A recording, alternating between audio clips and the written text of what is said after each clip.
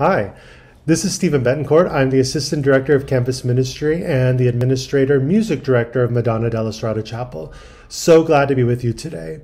Thinking about um, college and our experience here, the one thing that I think about in the time that I was in college was that we had amazing staff and faculty, and I really didn't take good advantage of them. So that's my suggestion to students this coming semester. Reach out to staff and faculty.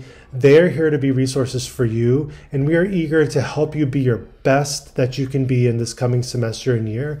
And know that we're here for you and we want you to be your best. So I wish you all a great semester. Hope to see you soon, and thank you.